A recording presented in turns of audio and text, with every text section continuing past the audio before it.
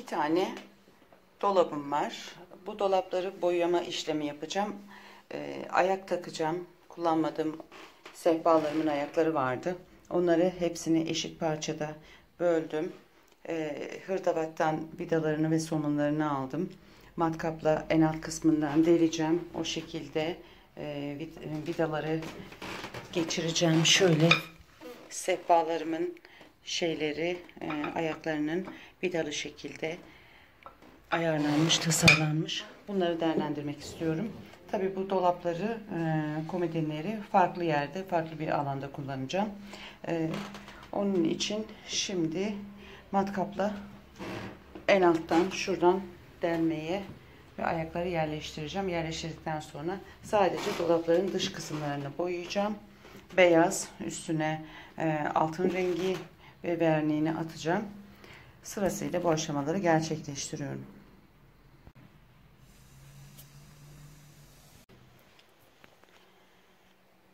Komodinin ters tarafından ayakları şu şekilde ayarladım, sabitledim. Bu şekilde matkapla delip ayakları yerleştireceğim.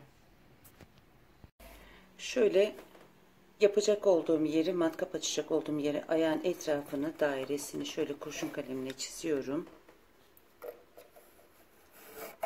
Ve bunun orta noktasını matkapla deliyorum.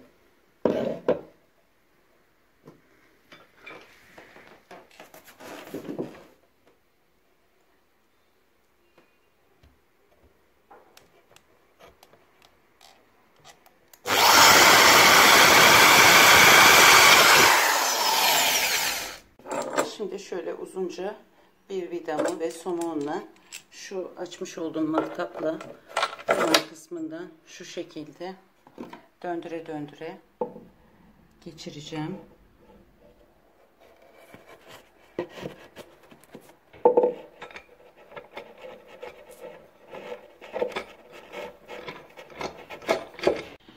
Evet. Monte ettiğim ayaklar yüksek biraz uzun olduğu için gayet komodinlerimin, dolaplarımın boyu da uzun oldu. Onları buraya koyacağım. Bir şekilde ayaklarını da sağlamlaştırdım. Şöyle şuradan vidalar görünüyor. Sıkıntı yok. Somonu ile birlikte onları tabii içine bir örtü, bir bez serdiğim zaman o beni rahatsız etmeyecek. Şöyle. Şimdi de beyazla boyama işlemine geçeceğim. Bu şekilde. Sehpalarımı, dolaplarımı ters çevirdim. Şimdi ayaklar kısmından ve en alt kısmından herhangi bir beyaz marka boyayla boyama işlemini gerçekleştiriyorum. Başlıyorum. Sürmesi kolay olsun diye bir tepsiye şöyle döktüm ve yavaş yavaş ayaklardan başlıyorum. Bir kat bir boyayacağız. Kuruduktan sonra tekrar bir kat daha boyayacağım.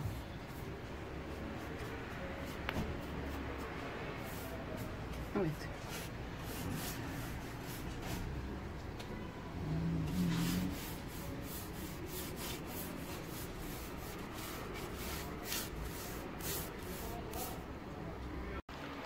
Evet, birinci kat boya, beyaz boya işlemlerini tersten görünebilecek olan alanların hepsini boyadım. Şimdi biraz kurumasını bekleyip düzeltip diğer kalan yerlerin ilk katını atacağım.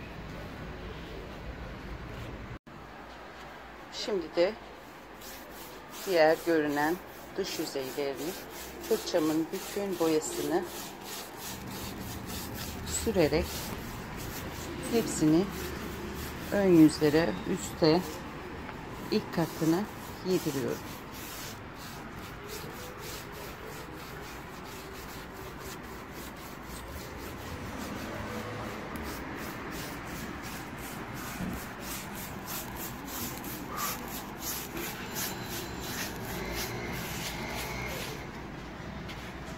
Tamamen kurumadan ikinci işleme geçmeyeceğim.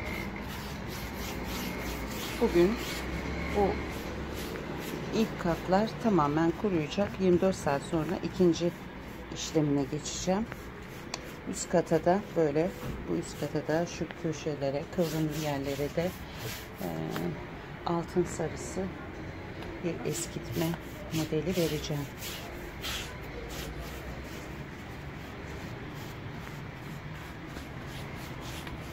Fırçamın hepsini güzelce yedirmeye çalışıyorum. Çabuk da kuruyor. Evet. Evet. Komodinlerimin ilk kat boyası tamam. Kurudular. Şimdi artık ikinci kat boyasına geçebilirim.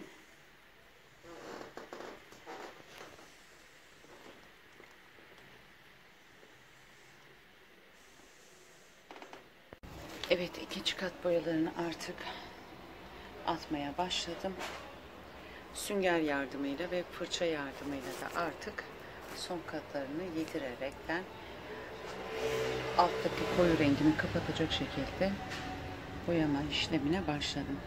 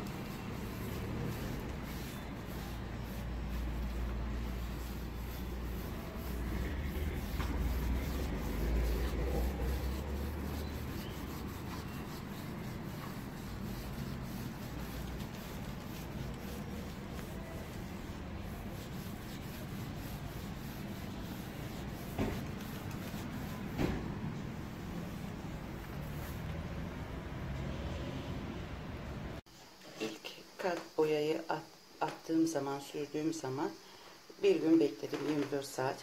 Sonra ikinci son boyasını beklediğim zaman yine bir gün bekledim 24 saat. Şimdi altın renginde eski modelini verirken de yine bir şekilde cilasını atmadan önce bir gün bekleyeceğim. Şöyle kenarlardan Şöyle.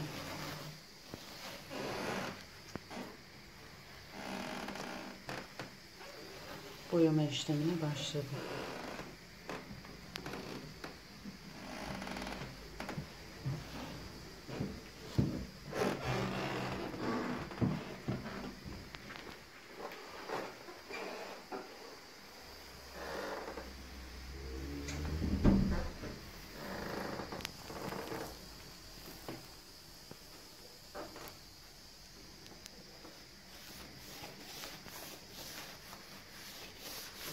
Şöyle süngerimle kalan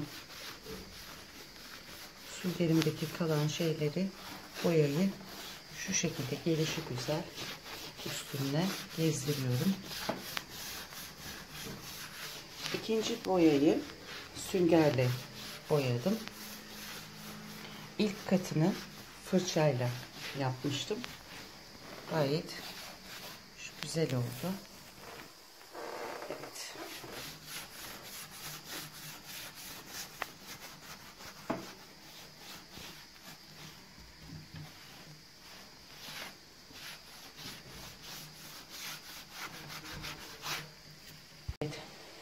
Altın renginde olan beyazın üzerine eskitme boyama işlemini de bitirdim. Bu şekilde kuruyacaklar.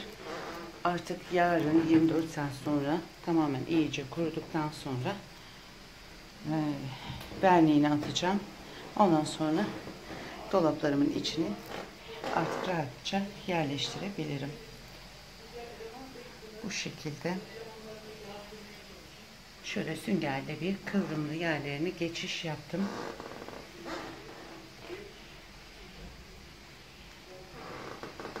Yine elimde boya var. İstemediğim yerleri beyaz rengine dönüştürebilirim. Tekrar. Şimdi boyalarım hepsi kurudu. Artık verniğini, cilasını süreceğim. Şöyle şuraya döküyorum. Azar azar süngerle cilasını sürüyorum.